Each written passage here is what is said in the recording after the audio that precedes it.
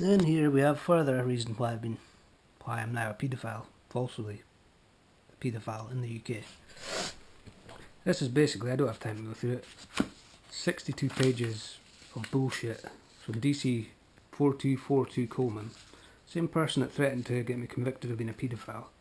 Same person that uploaded uh, viruses into my computer, filmed me whacking off and all sorts. Uh,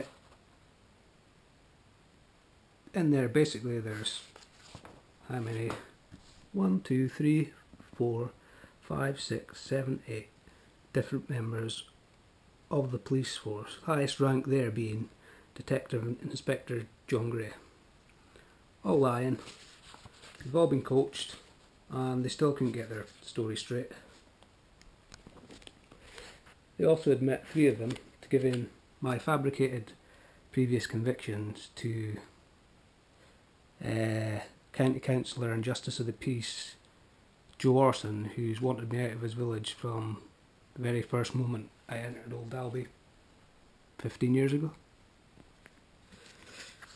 They've also sold out Mark Colwell, a social worker who was involved in the theft of my social work records. He was also given, before my social work record was stolen, he was also given uh, my fabricated police records to spread around. So this is how to become a paedophile in the UK. Complain about corrupt police.